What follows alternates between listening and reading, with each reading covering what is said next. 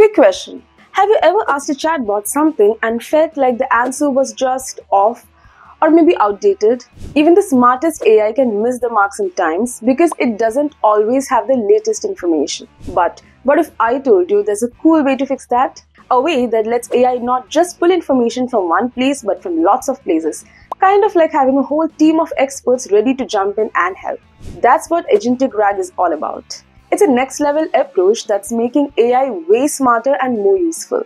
So in this video, we'll walk you through what it is, how it works and why it matters, step by step, no fluff. But before we jump in, I have a quick information for you guys. So we are conducting an absolutely free masterclass where our experts will be guiding you through a proven three-step framework and help you get high-paying jobs in the field of AI, machine learning, data science, and generative AI.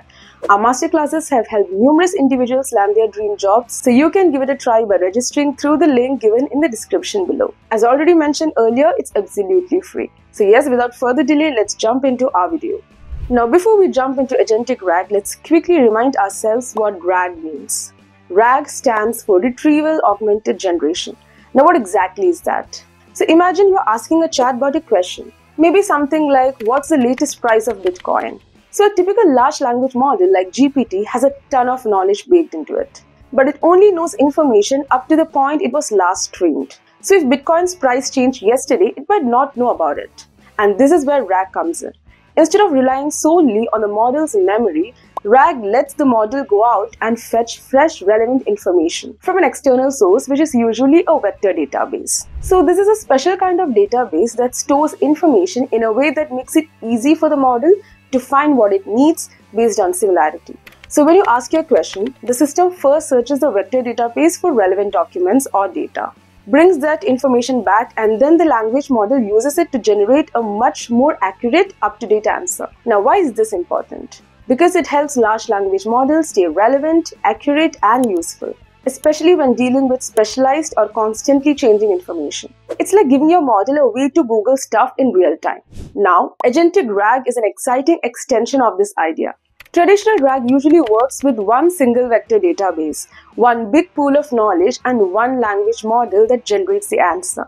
But what if you have multiple sources of information? Maybe your company stores product information in one database, customer reviews in another, and internal policies in a third. Or maybe you want different tools or agents that specialize in different tasks. That's where Agentic RAG comes in. It introduces the concept of agents. Think of these as little intelligent helpers or managers inside the system. So these agents decide which database or tool to use depending on the question you ask. So imagine you're at a busy help desk and instead of one person trying to answer everything, there are several specialists, one for billing questions, one for tech support and another for product information. So when a question comes in, the right specialist gets it. And Agentic RAG works in a similar way, routing queries smartly to the best knowledge source. So instead of one big database, you have multiple vector databases.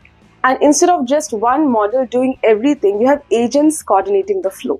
Now let's break down the main parts that make agentic RAG work. Number one is multiple vector databases. These are your different knowledge stores. Each can contain specialized information, like a database full of product manuals, another with user feedback or even legal documents. Number two, agents. These are like the decision makers or traffic controllers.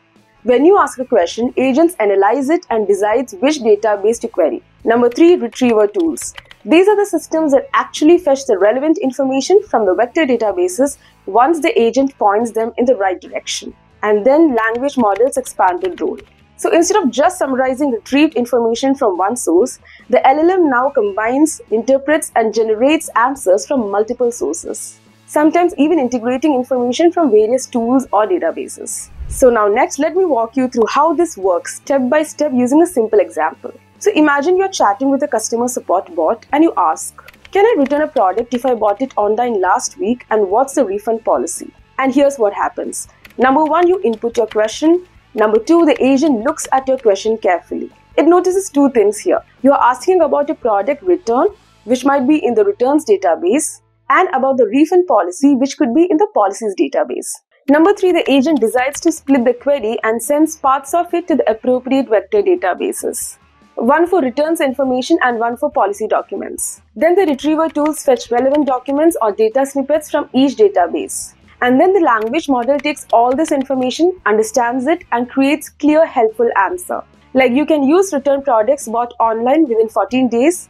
Refunds are processed within 5 business days after we receive the product. And if for some reason the agent can't find relevant information or maybe the return policy wasn't uploaded yet, it might have a fallback plan. For example, it can answer based on its own general knowledge or escalate the query.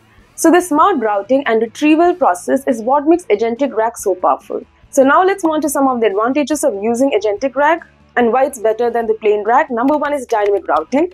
So instead of searching blindly, agents send your question to the most relevant knowledge sources, saving time and improving accuracy. Number two, better accuracy, of course. Since each database is specialized, the system pulls precise information rather than generic data. And then scalability. You can keep adding more databases or agents as your needs grow. For example, adding a new database for user manuals without disrupting existing ones. Flexibility.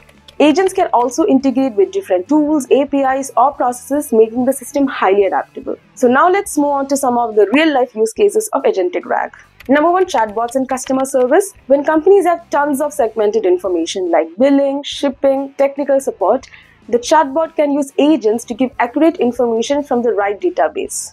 Then comes enterprise apps. Large organizations often have data siloed in different departments.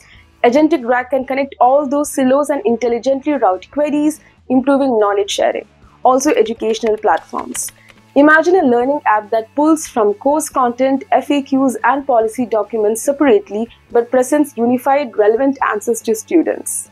So, as you can see, agentic AI and related fields have huge growth potential right now. And if you are interested in breaking into generative AI or the broader AI, ML, and data space, check out this video where we have shared a proven three step framework to help you get started even as a beginner and potentially earn even more than $250,000. So now let's move on to the tools and frameworks for building agentic RAG.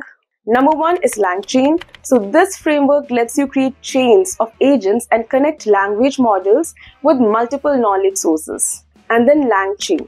This is a visualization and orchestration tool to manage how agents route queries. These frameworks help glue everything together, building agents that decides where to look, retrievers that fetch information, and language models that combine it all.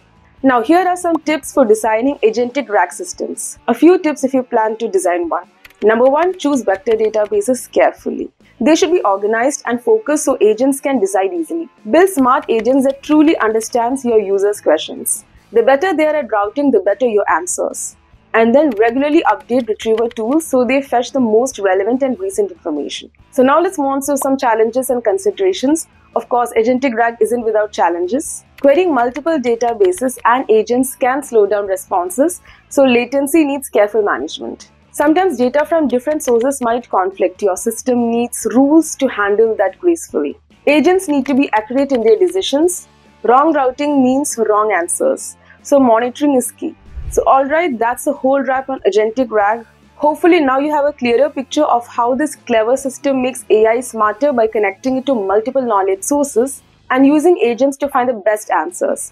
So if you found this video helpful or learned something new, do subscribe for more such videos. Also, if you're looking to get into the field of generative AI, you can watch our video for a proper generative AI roadmap over here. Also, by the way, if you're looking to level up your career and land those high paying roles in AI, machine learning, or data science, don't forget to check out the free masterclass link below. It's a great way to get expert guidance and a clear path towards your next job. So, thanks for watching.